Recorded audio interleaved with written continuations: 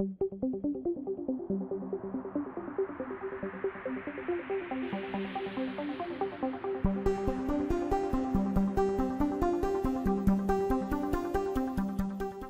planeta, la Tierra Segunda, ya contaba con 20.000 almas.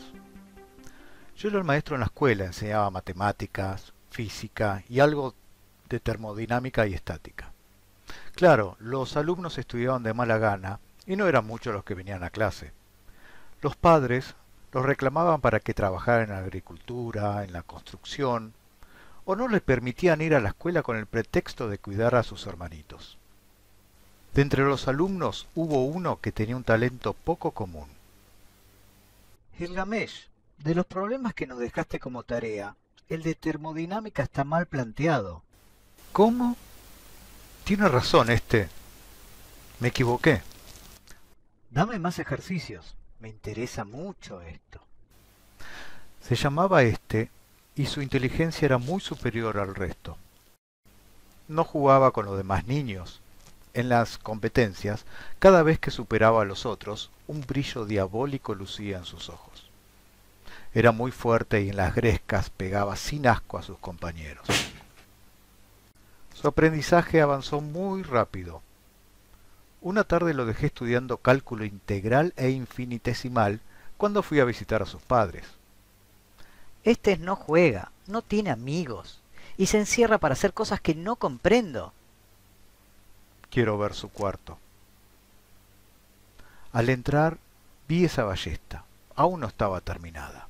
Era perfecta, más fuerte que las ballestas medievales, pero con innovaciones técnicas que la hacían más poderosa. ¿Por qué éste construiría un arma? Decidí esperarlo en su cuarto. Apareció recién a medianoche. ¿Qué haces aquí? Dime, ¿por qué has construido esta ballesta? ¿Y por qué cazas animales cuando uno tiene esa edad suficiente? Gilgamesh, acompáñame mañana a cazar, y luego te prometo destruiré las armas. Decidí seguir en la corriente porque quería conocer más a fondo este talento. El primer talento surgido en la Tierra Segunda. Salimos al día siguiente. Quiero cazar un topo volador, pero debemos ir a las grandes cavernas. Caminamos durante dos días atravesando la selva y la pradera.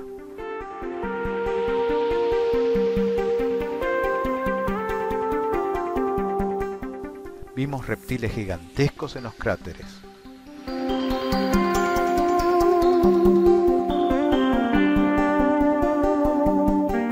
Llegamos al valle de las grandes cavernas.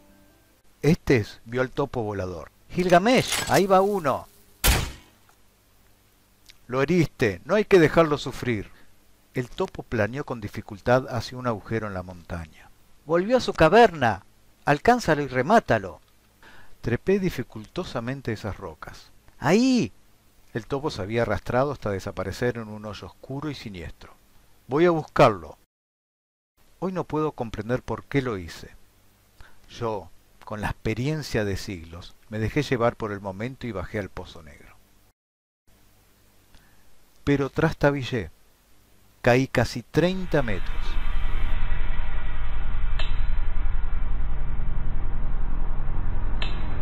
Cuando levanté la vista supe que no podía alcanzar la salida. ¡Este! ¡Ayúdame! ¡No puedo salir! Volví a gritar desesperado. Luego de un rato, la silueta del muchacho apareció. Gilgamesh, no te veo. ¿Estás ahí? Acá estoy, este. Construye una escala con lianas para que pueda salir. No me respondió. La luz iluminó su rostro y pude ver su mirada diabólica y después de un rato habló. No. Fue todo lo que dijo y desapareció. No entendí su actitud hasta un rato después. La primera piedra comenzó a taponar la luz, luego otra piedra. Grité como enloquecido. ¡Este! Fue inútil. La luz iba desapareciendo. El muchacho me estaba enterrando vivo.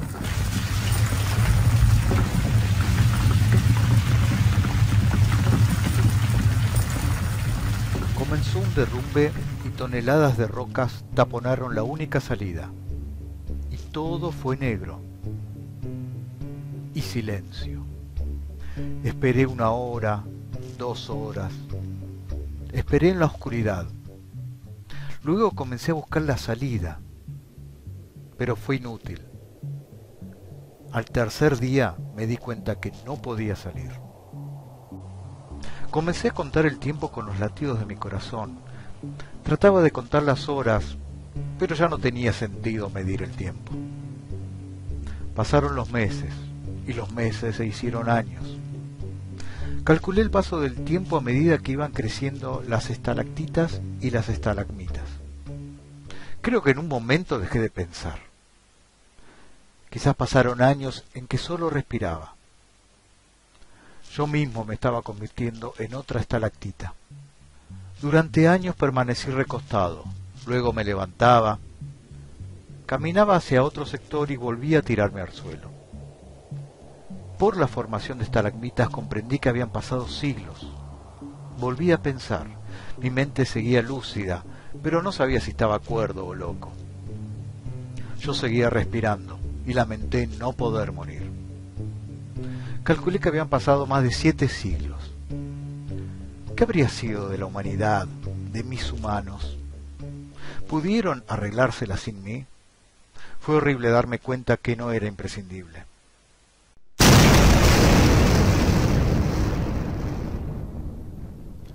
La explosión me despertó.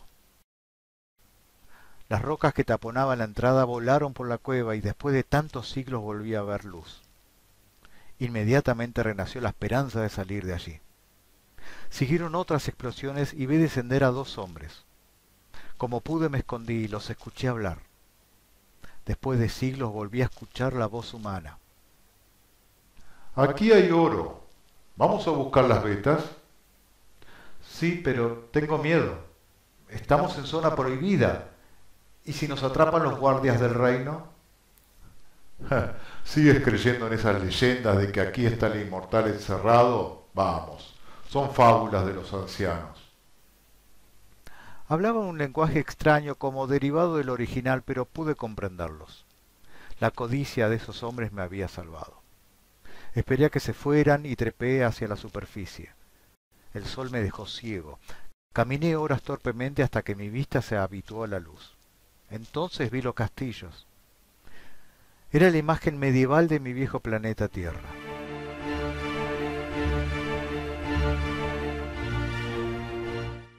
Me acerqué a los sembrados y pude ver a los guardias. Llevaban armas similares a las del siglo XVII de la Tierra, pero con diferencias. Tenían mejoras la historia volvía a repetirse en la Tierra Segunda. Encontré ropas de campesino y caminé casi un día entero, hasta que llegué a una ciudad de grandes dimensiones. Luego supe que era la capital del reino. Aquel lugar se llamaba Ciudad Este. El pequeño Este había cambiado la historia. Se proclamó rey y sus descendientes, 850 años después, seguían dominando el planeta. Había armamentos en todas las torres. Comprendí que las guerras castigaban mi planeta. Y la ballesta del pequeño cazador, aquella que había visto en su cuarto, era el símbolo de la dinastía. De un golpe desmayé a un guardia y con sus ropas me introduje en el castillo. Vi enormes estatuas, la imagen de éste por todas partes. Llegué hasta la sala del trono, en donde el rey juzgaba a uno de los hombres que habían entrado a mi caverna. Que lo echen a los perros y alerten a los guardias para que busquen al inmortal. Gran este, no se preocupe. Sabemos que el inmortal no es invencible. Lo podemos dominar. Sí, lo sé. Pero temo que se unan los rebeldes de las montañas y nos ataquen. Fue suficiente lo que había escuchado. Me retiré del castillo y de la ciudad. Volvió a mí el deseo de luchar. Debía destruir a esa familia de tiranos. Caminé hacia las montañas buscando a los rebeldes.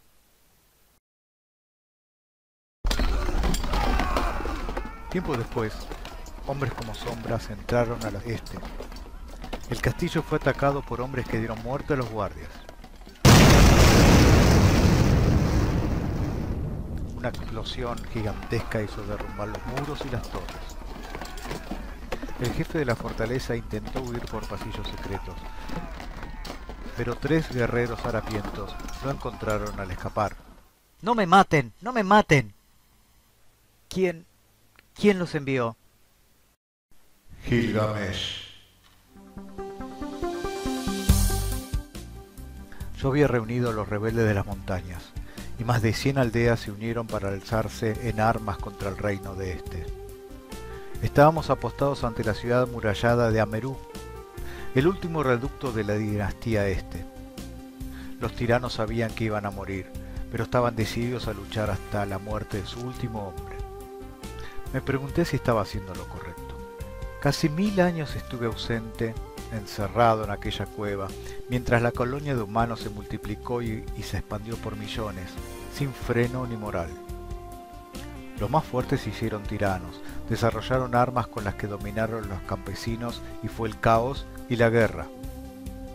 Y yo, Gilgamesh, que durante siglos llené mi boca de palabras de paz, encabezaba una matanza.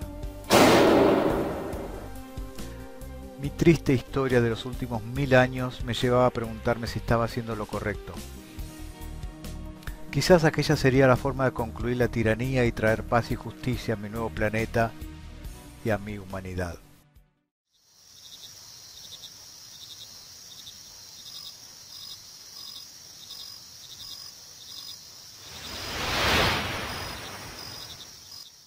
¿Qué fue esa luz en el cielo? Hace mucho que vemos esas luces, pero la ley de los ancianos prohíbe llegar hasta donde caen, allí en las montañas de trueno. ¿Nadie se ha acercado? Sí, hubo quienes se acercaron, pero sufrieron quemaduras horribles y algunos murieron. Otra vez lo inexplicable me produjo curiosidad y decidí ir a las montañas del trueno. Aguarden mi llegada. Caminé durante horas y vi plantas y piedras calcinadas. También vi raras perforaciones en el suelo.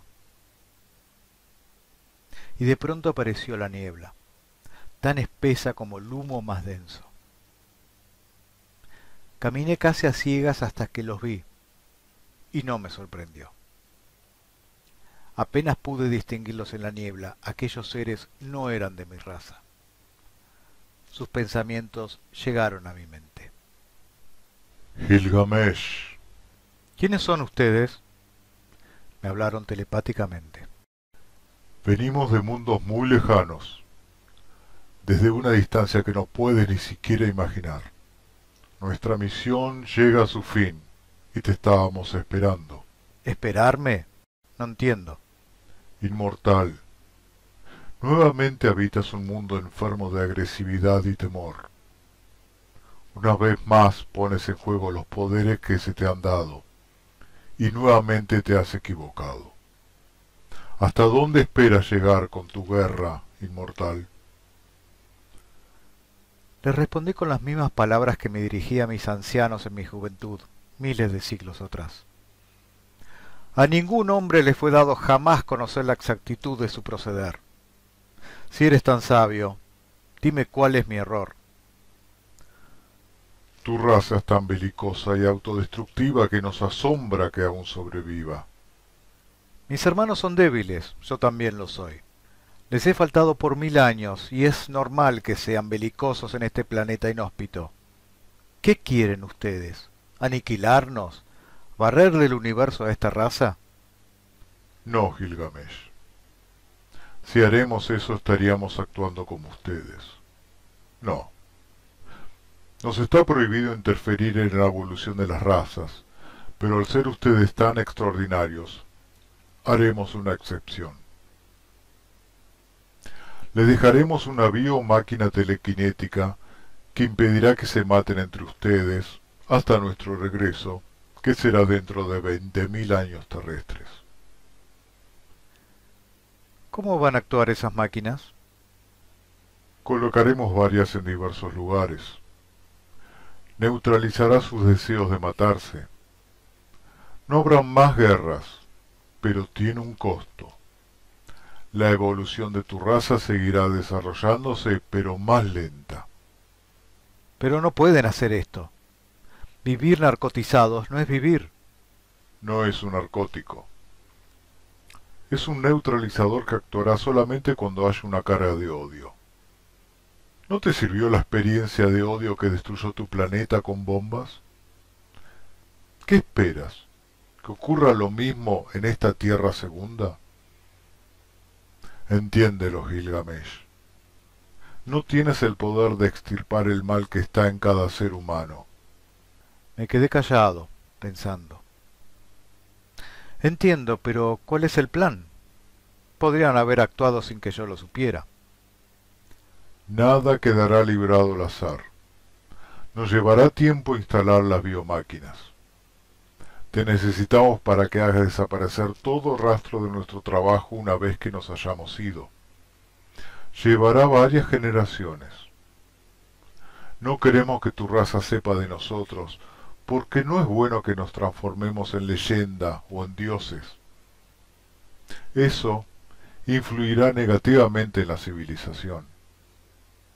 Y tú también deberás desaparecer como leyenda. Explícate.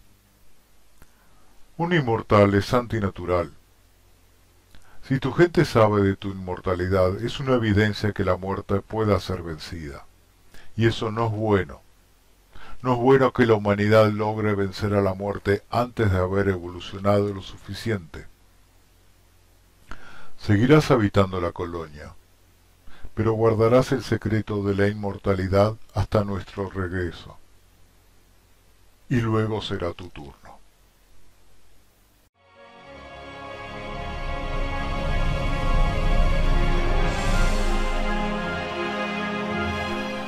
Hace 92 años que hablé con ellos. No hubo guerra.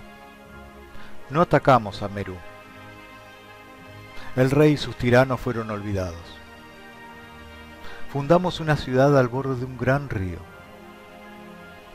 Los galácticos trabajaron años colocando los neutralizadores en diversos puntos del planeta. Luego se fueron. Resuenan en mis oídos las últimas palabras del hombre de las estrellas. Y luego será tu turno. ¿Podré morir al final? Borré todo rastro.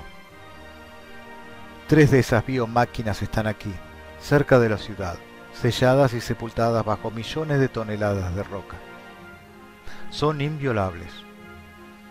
Desde aquí contemplo el lugar donde yacen. Espero verlos dentro de 20.000 años.